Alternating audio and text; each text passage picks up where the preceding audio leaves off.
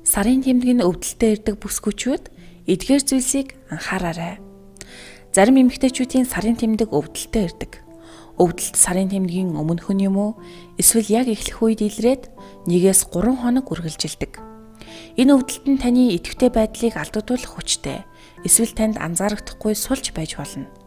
Эдгээр өдрүүдэд анхаарах хэрэгтэй зүйлсийг зөвлөж байна. Өвчин намдах юм.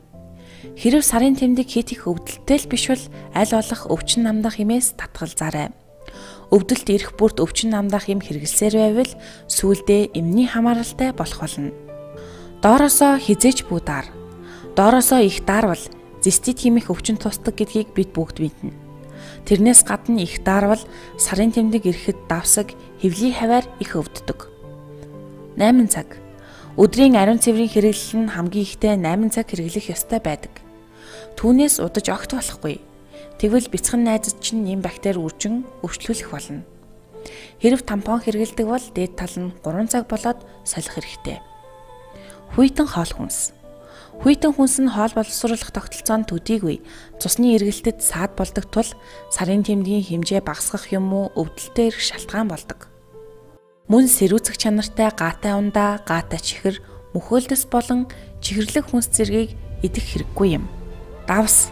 Сарын тэмдгийн үед эстрогений төвшин өөрчлөгдөх тул усан хаман үүсгдэг.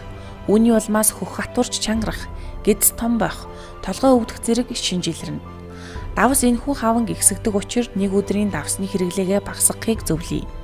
Нөөцлсөн бүтээгдэхүүн төрөн хоол зэрэгт давс ихээр агуулгаддаг. Ядарч стресстэх. Сарын тэмдгийн үеэр сэтгэл санаа тавгүйрэх, дотор эвгүйрэх зэрэг зовиороод илрэх боловч тод биш илэрдэг. Гэвч ядарч сүлдэх, стресс хит ачаалттай ажиллах үед сарын тэмдэг алдагдах, зовиортой эрх шинжүүд илэрдэг байна.